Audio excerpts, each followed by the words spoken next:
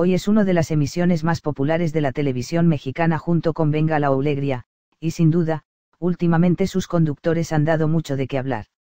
En esta ocasión la protagonista del suceso fue Andrea Legarreta junto con el actor invitado Jorge Aravena.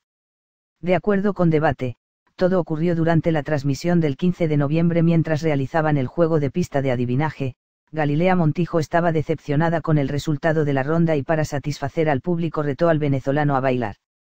Aravena sin dudarlo tomó la mano de Legarreta y la carga intentando un paso de quebradita, pero la cosa se salió de control cuando la conductora se preocupó por enseñar su ropa interior en televisión abierta.